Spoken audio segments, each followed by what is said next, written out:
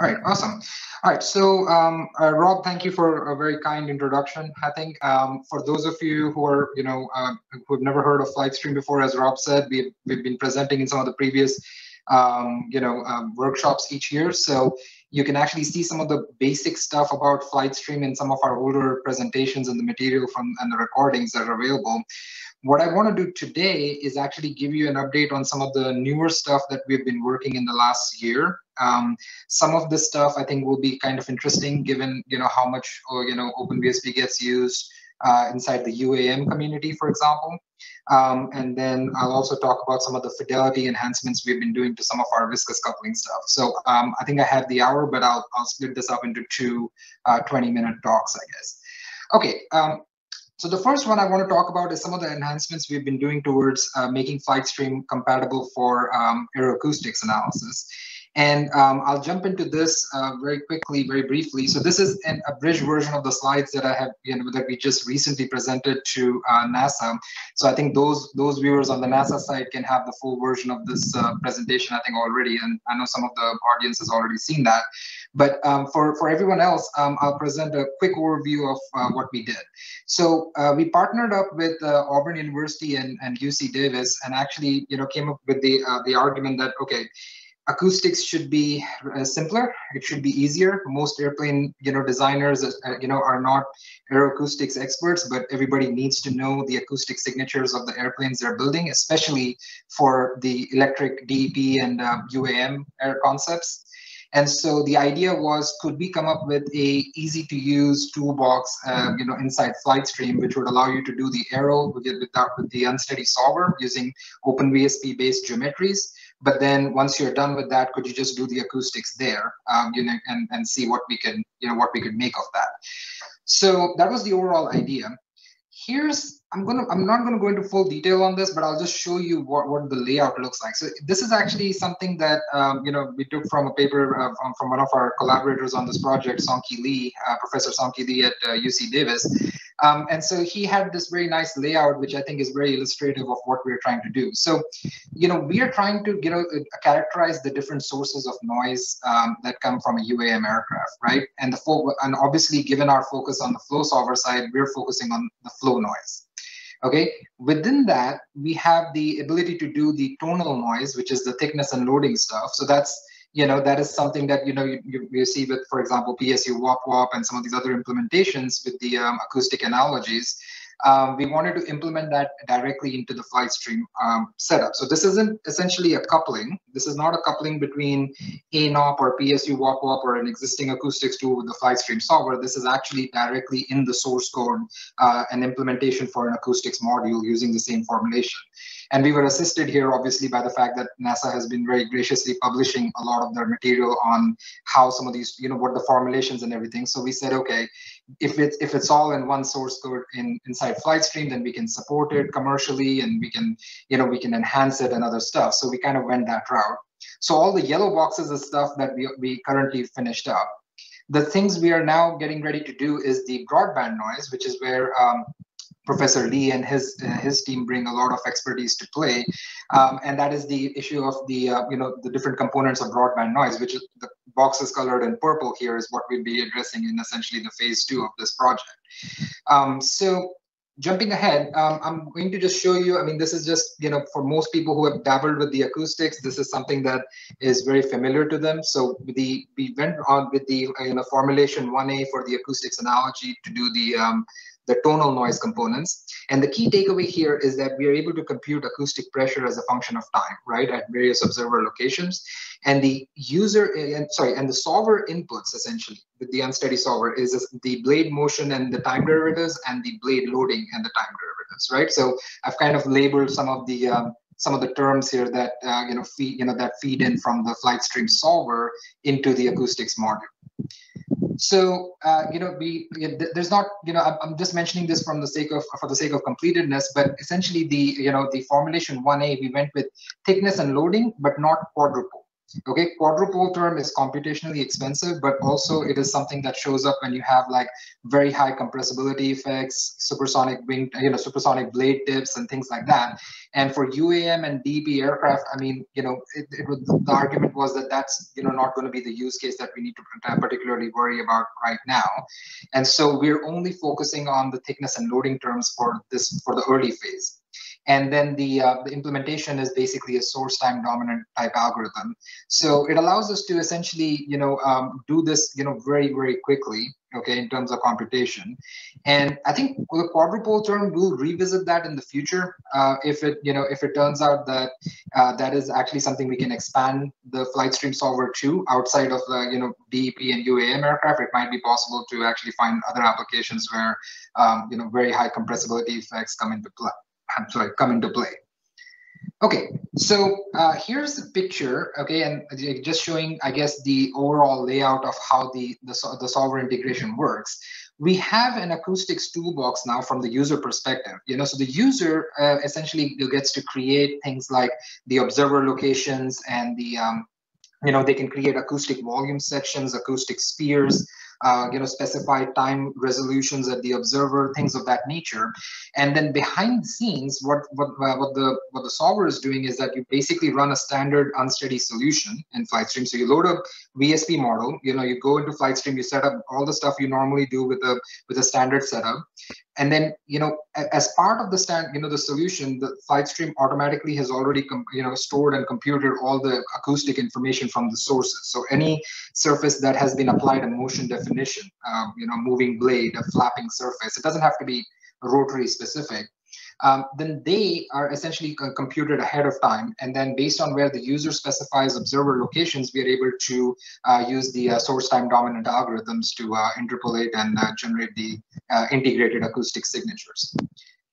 So we added some tools to actually make life easier, and I want to show this. So uh, what I did, by the way, you'll see this uh, airplane again and again. So I think for those of you on the call, you'll recognize this instantly. It's the um, I took the OpenVSP model for the uh, the Joby S4 uh, that's on the um, hangar, and I loaded it up in VSP, exported it from there with a CompGeom mesh, and sent it to FlightStream. So um, in this case, what we're you know like some pictures here that you're seeing. So um, this is our acoustic volume section. So you can actually use this to generate, uh, you know, like animated time histories of these signals. And these volume sections can be arbitrarily sized and oriented and things like that. Um, and on this one, you know, uh, we, are actually going, I'm going to show some results as well for the full vehicle, but, you know, you can test like, for example, multi-rotor configurations. It's not, it's not specific to a single rotor or anything. You can, you should be able to do like, so if you take the effort to make a, a VSP model with all the bells and whistles, you should be able to transfer that one for one and go and do the um, flight stream plus the acoustic analysis. So I'm going to play a little bit of a video so you can kind of see what, what it works like inside FlightStream. So here's that aircraft that has just been completed, um, you know, with the uh, unsteady solver. Okay. And so there's an acoustic toolbox. So the, the, the, on the left, that panel opens up.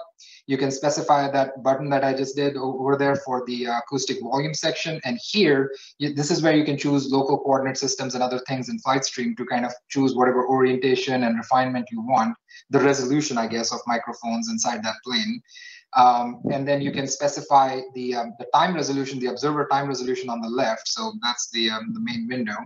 And then when you click the button, it's essentially, you know, goes ahead and does the computation. So what's going to happen i mean the the, U, uh, the gui and all is interactive through this whole time. But the point is that right now this is all in serial implementation.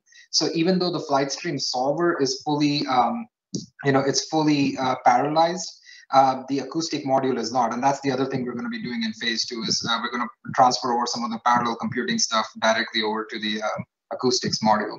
But anyway, so once you generate a volume section here, then you can use the, um, you know, that slider there to kind of generate essentially the, an animation of the time history uh, as the signal generates and propagates in that plane, okay? This stuff can be exported. So this can be then taken out and uh, essentially, you know, you can use this for post-processing in MATLAB or anywhere else that you would like to. Okay, so, oh, um, I guess, uh, let's see, I need to go to the next slide here. There we go. Okay, so the next thing we also added was the ability to create acoustic spheres. Okay, and so this is again a very nice tool that is able to take your full aircraft and generate the acoustic pressures uh, across a sphere uh, around it, and the user can size the sphere and uh, the resolution on it and things like that. And then that again can be used for spherical propagation and analysis and post-processing analysis of the signal. So here I'm showing a picture where you have the Joby aircraft, but you have just one propeller operating okay? And so you see at different time steps what the acoustic uh, pressure signal looks like across the surface of the sphere. And much like the um, much like the actual uh, volume section it works the same way in the GUI. So you you have your you know your solution done over there. You go ahead and you know so in this case again i'm going to go and pull in the um, acoustics toolbox. And you know we the the third button from the top which is the um, this acoustic sphere and you know similar user interface like before. So as you can see i mean the focus here has been to make life easy for the user who you know uh, you know without having to necessarily do like file transfers and other things. I mean this is the benefits of having like a direct integration at the at the source code level right? Is that we can do a lot of the we can make the process very streamlined and user friendly okay? So same thing as before it's going to go through uh, the, the run here. We'll just wait for it real quick and I know it, it sounds, it looks painful just looking at that progress bar, but believe me, we're, we're working on making that parallel. So.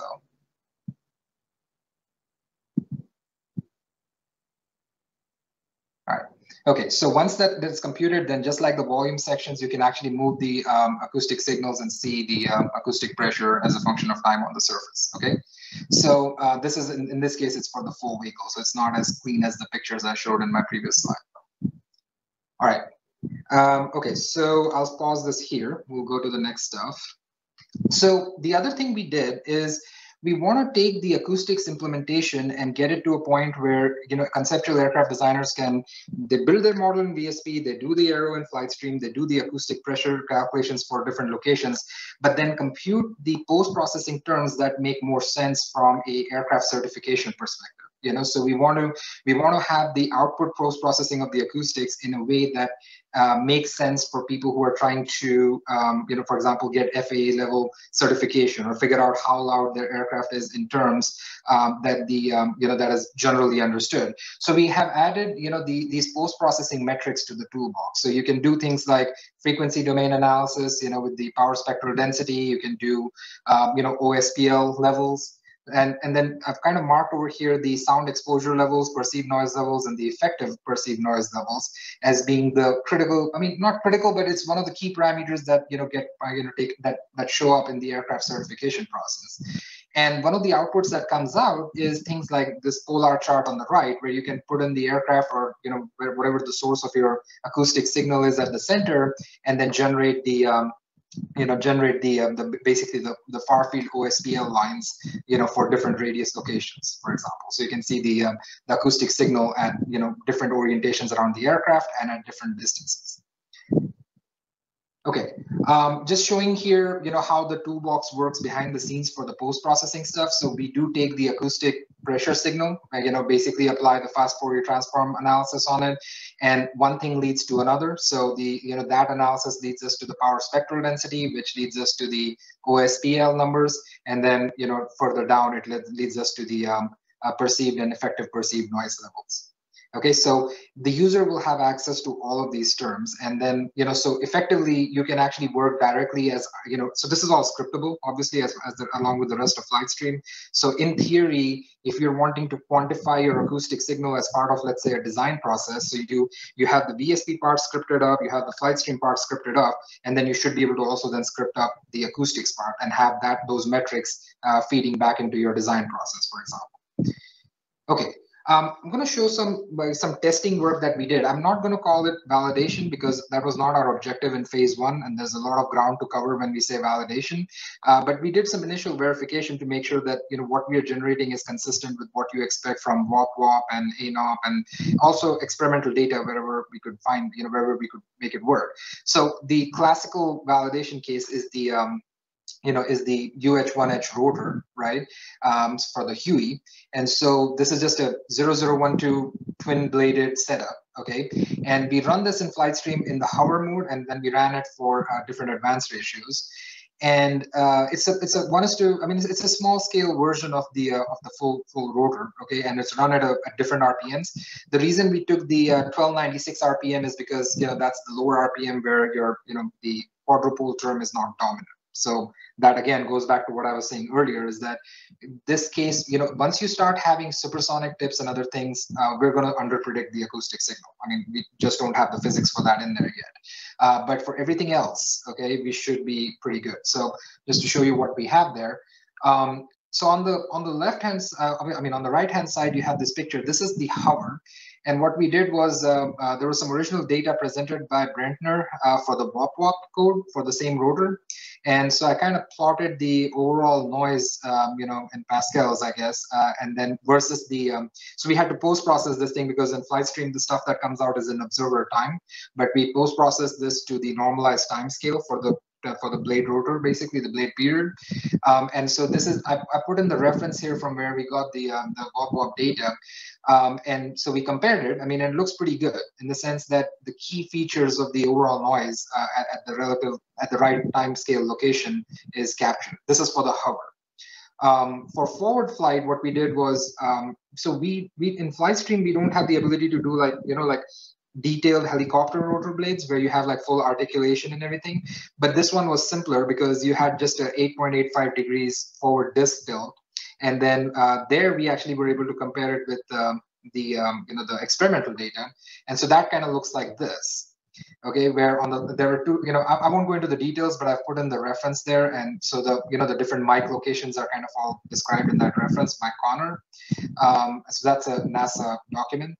And so again i mean you know the, the i'll just mention that mic 4 and mic 5 here are the um, are two microphones placed upstream of the rotor okay in forward flight uh, on the uh, on the advancing side and on the receding side okay? So that's the uh, difference between the two here uh, sorry, difference between the two here.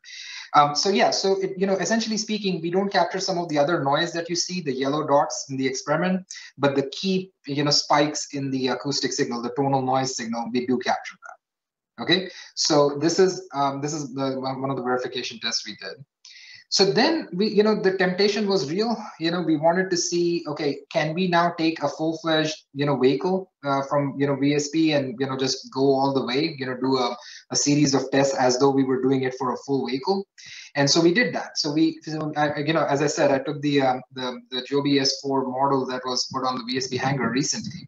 And um, so what we do here is a, a, slight verification to our workflow. So we take the VSP model and we export it as a plot 3D geometry, okay? Um, and then that goes into FlightStream. The rotors, we can do either solid representations or thin representations, but there's not, performance-wise, there's no, uh, sorry, um, the analysis wise, there's not any difference if, between the two. And in fact, for thin propeller blades, you can actually, I mean, you, you get much the same results as thick. So there's not too much to be gained there. Um, but then we, you know, we do the uh, Boolean unite using CompGeom through FlightStream. So one of the reasons we do that is because for these uh, swept cases where, you know, Plot 3D is a fully structured file format, you know, so coming out of VSP. So that generates a full structured mesh and we retain that information. So when we do the CompGeom, we actually store, you know, we, we uh, you know, because we're kind of interacting with CompGeom and, you know, uh, things that come out and go into FlightStream is STL, we actually use the um, FlightStream, you know, function for calling CompGeom so that we can store the quads information before and after. Okay. Long story short, I mean, it's still the same CompGeom workflow. It's just that there's some additional data storage that we do on the FlightStream side, and that's why we prefer that workflow now. Um, so we tested the first case by putting just one propeller, the one picture you see on the right. Okay. And we tested that at 955 RPM. So the tip Mach number was 0.4. Okay, and then we placed microphones in the polar array at 50, hundreds, and 150 meters, so 36 microphones each. And so you get something that looks like this. Okay, so you know you we basically we're showing here the different signals uh, that you see at um, various locations around the aircraft, uh, around the propeller. Now, I should mention that uh, we, we don't have models for acoustic shielding and scattering inside flight stream yet. That's our phase two activity, okay? So it means that when you're doing this analysis, the presence of the fuselage is, uh, is, is, uh, is seen aerodynamically. So the flight stream solver and the propeller are interacting with each other aerodynamically. But acoustically, that pressure signal, uh, that acoustic pressure signals are going straight through the fuselage. Okay, there's no blockage effect right now. So that's one of the obvious enhancements that we're looking to do uh, for the acoustic uh, shielding so that you can see a difference whether or not you have a fuselage in there. Okay, uh, but other than that, though, you see like this kind of lobe-shaped structure, which is classical, you know, for this kind of uh, an acoustic signal for a single propeller. So the so the least acoustic pressure is at the front and back, as you can see on the, the two plots over here okay and the maximum signal is on the sides where you where the tip of the blade kind of crosses right in front of the microphone um, so yeah so overall it, you know the very very representative of what you would expect. And so you know it looks like it's and, and the and the radial this the plot over here is the the decibels. So you're essentially seeing about a 60 decibel or you know uh, number. This is at the 50 meter uh, you know distance um, we also tested it to see you know what happens oh, sorry what happens if you have a wake and no wake. Now this this is entirely academic right? I mean because um, there's not going to be a real life scenario where you're going to have a, a no wake setup okay? Um, and so but we wanted to see if the if you get back to the classical eight shaped lobe on the acoustic signal if you don't have the effects of wake and other stream kind of like messing that up. And sure enough we do see that effect. So this is just as i said just a quick academic you know canonical verification test okay? So next thing we did was we started we said okay now, now let's go back and switch on all the props okay? And so we did that. Now the signal is a lot more messier okay as we would expect and here i mean we still see the classical characteristics in other words the acoustic pressure is still the you know the largest uh, on the tip so the, the the eight figure is still maintained but we see like spikes and other shape effects that are now coming in uh, because of the um, the presence of the rotors. Okay so so that shows up. Um, on, as I said before, since we're able to do post-processing on this stuff, we are able to then convert, you know, the time history for the uh, pressure, acoustic pressure uh, into the power spectral density versus frequency plots, and then you can actually see the 955 RPM main rotor, you know, spikes as well as the as well as the harmonic tones uh, showing up in the analysis. Okay, so this is this is stuff that you get out of the toolbox. Um, and then, you know, as I said, the temptation is real. So we went one further and I saw that on the VSP hangar, we have a, you know, a Kitty Hawk KH uh, H1 aircraft also loaded up. And we, you know, just to kind of, you know, illustrate the ease of use, we kind of did the exact same workflow. I mean, and what the key thing we were looking for here is just to see, you know, if you have two different shapes of aircraft, if you have two different, completely different layouts, between let's say the Joby one and the Kitty Hawk one here, will you will this tool be sufficient to pick up the difference in acoustic signals? Because that's going to be a key parameter in in saying that acoustics can become part of your you know your early design workflow right? And sure enough, you kind of see that. Now, by the way, keep in mind different operating conditions, different designs, different scales here. So don't, you know, it's it's very tempting to say, oh, look at this aircraft. It's you know it's better than this one or whatever. But um, be you know be warned that don't do that. But you know, but you get the overall idea. Okay. Um, and the main thing I was going to say is that we are right now looking to do some qualitative tests. I'm hoping that the the Joby guys will will you know be interested in you know like I know they're doing working with NASA to do some acoustic tests, and I'm hoping to get us involved with some of that because I mean we've had we have some data points for their acoustic signals at different locations, and it does look like we kind of match some of these numbers, but it'd be nice to actually get our hands on the, uh, you know, on some real world data, uh, either from NASA or from the industry side, and so we can do some of those tests. Okay, um, I think I, I, finished about five minutes uh, to spare. So what I could do is, um, it's just a very quick summary, but I can field some questions, I guess, um, in the meantime. We don't have any questions queued up right now, Vivek. So okay. Uh, um, should I wait a, about 30 seconds before uh, maybe going into the new topic? Uh, yeah, we can give just a uh, yeah we can give a moment for the lag on the video to catch up to see if anybody asks any questions. So let's give it a minute. Okay.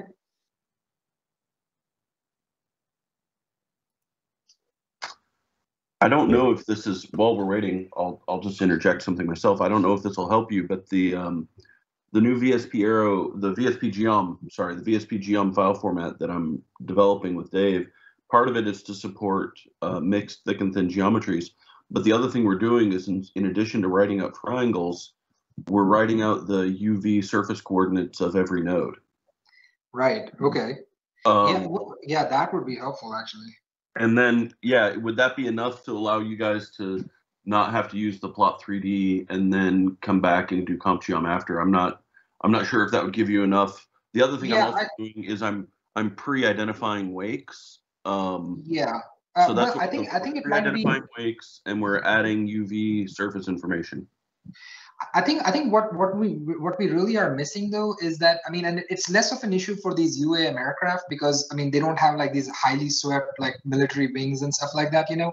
But the but the issue is that after CompGeom, I think you know you just you know you get a bag of triangles out, right?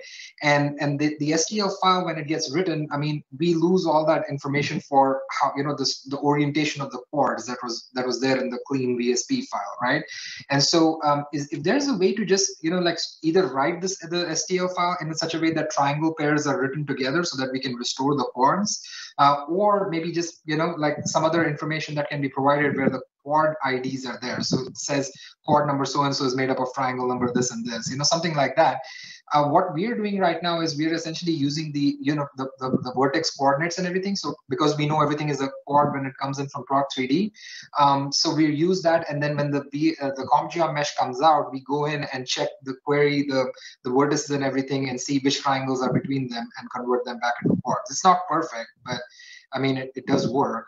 Um, anything that makes that kind of process easier would actually be very helpful, I think.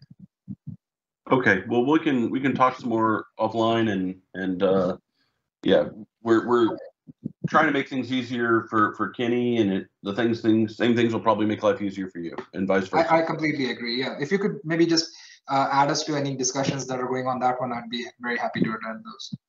So one question did come up, which was, um, can you explain on how the noise noise shielding is planning on being approached if you if you have any plans for that. Yeah yeah so so okay so there's acoustic scattering and there's acoustic shielding right? And those are two different topics. Acoustic scattering is a very complex topic and we in, in our current approach we're we're not planning to implement that yet uh, because we're going to look and see what the computational impact of those numerical schemes is going to be uh, acoustic shielding, on the other hand, you know, we're you're going to be using the ray acoustics and diffraction models. Um, so this is stuff that Professor Lee has some publications on that I can I can point to. Um, but essentially, the you know the idea there is that you're going to be looking at some initial line of sight calculations um, you know, to see is an observer, you know, in the line of sight of an acoustic signal. If not, what is the kind of surface in between? What is the diffraction that's happening, etc., etc. The problem is that the tonal noise calculations are all based on low frequency stuff. So acoustic shielding is is kind of uh, it's less of an issue than you might think. But then when we do the broadband noise, which is the high frequency stuff, then those ray acoustics models really should be useful because um, you know the, the high frequency stuff, the acoustic shielding, interestingly enough, becomes a little simpler uh, because then you have like you can actually model the blockage effects. Um, I don't have time to go into the full details right now, but I can definitely point to uh, some references in the chat after I'm done here. I, I think that probably gives them a good uh, idea of where you're looking to go. Yeah. Okay.